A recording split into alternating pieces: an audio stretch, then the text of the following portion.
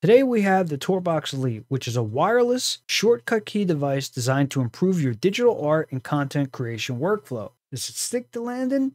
Roll the tape and we'll find out. The TourBox Elite is a solid piece of kit. Each button has its own unique shape, so they're fairly easy to navigate to once you have some muscle memory after using the device for a while. The dials, especially with haptic turned on, give you some nice feedback so you can feel what's going on. If you're not used to that, think of a video game controller with sort of the rumble triggers on. The varying sizes of the buttons make them easy to find, and some of them, like this big one, have a texture applied to them so you won't miss it when you move them back and forth. Back of unit has your Bluetooth sync button, your power, and holds two AA batteries. You're going to need that for wireless connectivity. The pretty weighty unit won't slide on you on a desk, and it's charged by USB-C. The cable could or could not be included depending on what kit you bought. Alright, so let's pay the bills. We already mentioned it's wired and wireless. This is Bluetooth 5.0. There's 14 programmable keys, which includes the three dials that have push button functionality. There's two levels of haptic feedback, 150 button combinations, we'll talk about that later, supporting more than 400 shortcuts. The estimated battery life is two months, which so far I don't have any reason to dispute. Hey, it's John. And for years, I've been using this Wacom Express Key remote as my primary driver for digital art and other things. Now, with this review, I might as well toss this thing in the garbage. Alright, I probably shouldn't have done that, so at least for the cost of the Express Key remote, isn't that at least worth a like and a subscribe? I think it is.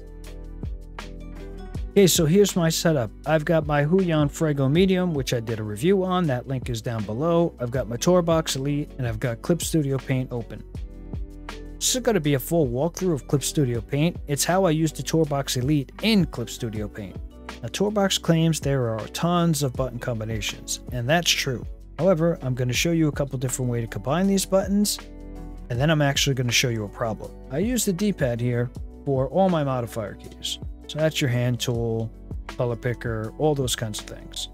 The dials I'm going to use for very obvious things zoom, brush size, and everything. What's nice about these dials is that they have click button functionality.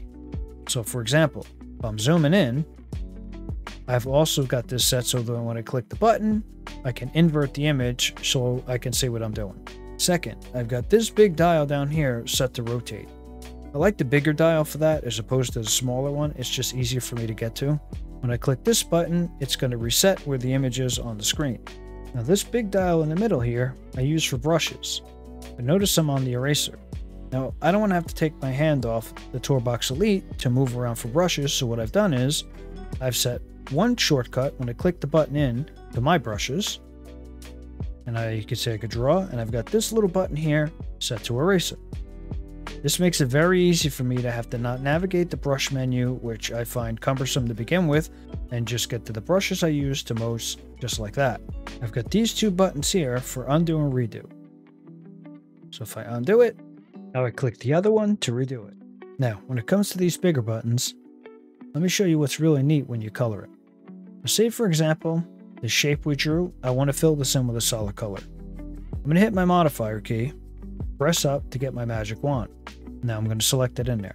All I got to do now is hit this guy and it's going to fill it with my foreground color. You see how fast your workflow can be once you know where all these keys are? I'm going to undo that. And then what I want to do is I want to switch to my brush tool and I want to paint inside here with my foreground color. And now to cycle through my colors, I'm going to click this small one and then if I double click it, I'm actually going to get transparency, which is really cool and a really good use for the double tap feature. So let's try that. I'm going to go in here, got my background color, and then I'm going to click it twice, and now I've got transparency. That is like pretty cool. And once again, I click this whole thing and I just want to fill it. All I have to do is cycle through the presets. It's pretty neat. Now let me tell you how I accomplish this. This key and this key, I have them set as a modifier, which means in the software, I just set them to like the number one key or something like that, something that doesn't do anything in Clip Studio Paint. So what that means is when I click this, all these other buttons now have a secondary function as opposed to when I don't have it clicked in. So now when I click this button, all these other buttons except that modifier button on the side also have a different functionality. I have three different functions set to every single button on there except the modifier one. And then once again, want to go back to my brushes. And if I want to deselect, I've already got that set up. And then I'm on my way. I never really have to take my hand off the tour box, and that's the magic. I will. I'll get to it. You're not the boss of me. Okay. So to show you what I'm talking about, I got to give you a quick run through of the software. And you see this upper left hand pane? These are all the different profiles you have set up for whatever software program you're using. If you're not sure where to start, you can go pull down somebody else's saved profile up on the DaVinci site. A lot of users have already uploaded their presets. Now for me, I primarily use Photoshop and Clip Studio Paint and DaVinci. So if we look and we expand all these out, you could see Tourbox isn't kidding when they say they have all these number of different functionalities and combinations. However, you see the side key here? If I double click into that, all of these different things are shortcuts that I set up. You'll see I have this set up to the number one key, which has no functionality in Clip Studio Paint. And I've configured that to modifier. So when I click it, it basically does nothing. However, it does signal to the software that I am asking it to invoke its secondary functionality, which I have also preset here. So we talked about it before. The knob with the brush size right here. And then when I click it, that is set right there. If I want a secondary functionality, all I would have to do is choose the combination I want and then set whichever button I want. You recall, I have two modifiers in use. I have the side key and I have the top key. So if I invoke the top key, what will happen is, if I want to reduce brush opacity or increase brush opacity, that's all I have to do. I have to hold that button down and then click the dial. All of these are as easy as me going in here and setting up what I want. You could set up any key and any label. Just make sure when you put the label in here that you save it. Otherwise, it won't have a label on there. Now, this HUD button functionality, all it really does is turn this little crosshair out. All this crosshair does, you can't click it. It just reminds you of what you have programmed to the D-pad. So if I hit my modifier, it's going to change and show me what those things are. That's pretty cool. It'd be nice if the HUD was the whole thing, but I guess that would take up too much screen space. But you can see when I hit my second modifier, those are different functionalities. Now the other on-screen feature is kind of buried in here. So if we go into this menu again, and we go into tool menu, you can have these different on-screen menus pop up depending on what button combination you click. So I was able to customize this myself, pulled it layer, when I close this, when I bring it up, if Clip Studio had stuff going on, every time I click one of these things, magic is going to happen. I can cycle through these with the dial, but that becomes a little bit of a hassle if I want to zoom in if this menu's up. Last, this auto switch feature means when the application is open, the TourBox console will instantly cycle to that application so you don't have to go in there and click around. Now you can if you want to just by turning this off but I leave it on. The TourBox Elite comes equipped with haptic feedback. That means you get some kind of vibration when you're doing various functions, such as the dials. If you don't like that, you could just turn it off. I keep it on. It probably does affect battery life to a degree, but the battery lasts so long, I really don't care. This macro section, I don't mess around with enough. However, you could think of it as actions. Do this first, do this, do this, create this layer, lock it, etc., etc. As long as you're able to assign that in your program, you'll be able to program those in order as a macro and you'll be able to execute it whatever button combination you see fit. As you can see, cycling through, there are many, many, many, many options. However, I promised I was going to show you guys one of the problems. So we're going to take the side key and I'm going to set this up as undo. And I'm going to scroll down here. This is the side key again. We're going to set that up as redo. So undo, redo. Now the problem is, since I've set Undo is my first button press. That's going to work. If I want to get to redo, however, I've got to double click the button. Do you see the problem? So the double click feature does work. However, you have to put some thought ahead of time into how you want to set it up. I found, at least in Clip, the double tap feature is most useful when you're switching tools. Or for example, I showed you earlier when I'm cycling through colors. I want that color, I want that color, and now I want transparency. You see? So it does work. It just, when you start configuring it, you have to give it a little thought of the things you're going to have problems with later on. But once you get to fooling around with it, it's not that big of a deal. So this is what I was alluding to before. Technically, everything TourBox Tech says is true in terms of as many button combinations and such as you want. However, you are going to have to sacrifice one or two of these keys depending on your use case. For example, if the double tap doesn't work, you might have to sacrifice a key for a modifier. It's not that big of a deal. This is the benefit of having used this for over a year, as opposed to being a reviewer who gets it sent to them, uses it for a week, and then throws it up on YouTube. That's not what I did here. I've been using this for a year.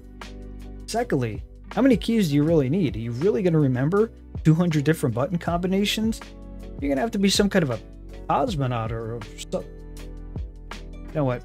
I don't know where I was going with that. It's just it's it's a lot of keys to have to remember. You'll be fine. So, as of the filming of this review here, uh, TourBox Techs made an announcement, and let me just tell you my response to it. It it's exactly there's no new functionality. They didn't add a button. They didn't do anything. The only difference is that one works with an iPad. My version, when I bought it, this is mine. When I reached out to them, I said, Hey, are you guys going to have iPad support? And they're like, Yeah, we're working on the app right now. And I'm like, What the fuck? You got to buy a whole new unit just for iPad support? I'm like, Why? It's Bluetooth. That doesn't make any sense. Really? I have to buy another one now. Again, in the spirit of showing you all the functionality, use cases, customization of the TourBox Elite, I fired up DaVinci Resolve. I've loaded some footage that I recorded with OBS. First thing we want to talk about is navigation. I've got this dial here set to play backwards and play forwards and then stop. I've got this dial here which is more frame by frame and obviously I could speed it up and go back and forth and go all kinds of crazy and make finite cuts. This dial here is going to zoom in and out and when I want to see the whole timeline, I just click this button. The D-pad is going to switch between various tools. This little button here is going to select the clip closest to my nearest cut. So for example, if I do a cut here, I click this button, it's going to select that clip. Basically, 95% of my navigation is mouse and TourBox. I've got these buttons set for in and out. This is my basic delete. This is my ripple delete. If we zoom in here, we make another cut, and I highlight these clips, I can just delete them. Alternatively, if I highlight these clips, I can ripple delete them. Now, that's now how I generally navigate my timeline nor edit. We start at the beginning, and we go through an exercise of deleting gaps. So I'm going to start my playback, I'm going to pause, I'm going to hold this modifier in, and what that's going to do, it's going to trim everything before the playhead. I make a cut right around here, and then there's this little space here that I want to get rid of after the playhead. I simply hold the modifier and I get rid of it. You would not believe how efficient and how fast this makes editing. Obviously, it's in super slow motion to show you guys what I'm doing, but you can get through a timeline very, very quickly, getting rid of your gaps and getting your basic edits in with little trouble at all with nothing but a mouse and a TourBox. Now I've got other things set up. For example, if I want to make a cut right here, and I make a cut right here, and I need to go into trim edit mode for some reason, I can make these fine edits. I can go back to my main tool. I can drag things out through here. I mean, it, it, it just becomes muscle memory after a while. If I want, I've got my D-pad set up to select the nearest gap, wherever that is, left or right. And this guy here, let's show, let's just make a couple of cuts. What this guy will do, if I hold the modifier key in, it'll skip to each cut that I've made on the timeline. It's actually pretty cool. And then I have it set up that if I want to go to, uh, for example, the color page, it's going to take me right there. And if I want to go back to the edit tab, just really, really quickly. Now, if you go into the color tab, some of you guys who are really, really into this, you can set all your dials and things like that just to do, you know, finesse type changes in the color page. I, I don't do that that much. I do most of my work here on the edit page, but I'm just really trying to show you the power, I highlight how efficiently this can make your workflow in any application that you're using for either content creation, digital art, or, well, really anything. You can even set this thing up for music playback.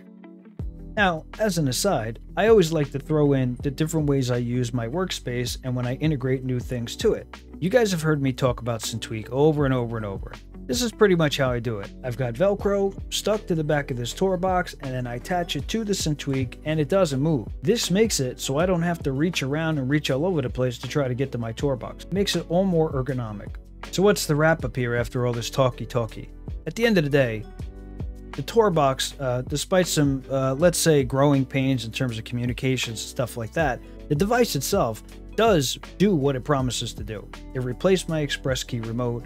I use it now exclusively. This is, uh, as I mentioned, Photoshop, uh, Krita, Clip Studio Paint, DaVinci. I mean, you can use it for anything that you can create shortcuts for, essentially. The Tourbox console is updated frequently, although I wish you could save the presets to the device so you wouldn't need the software open all the time, or you could use it on another laptop. I have heard that feature is coming, at least for iPads, and the new one I mentioned earlier in the video, which I did bend the knee and purchase.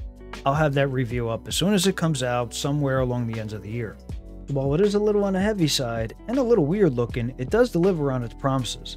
If you guys like this video, you might as well check this one out below, and I'll see you guys in the next one.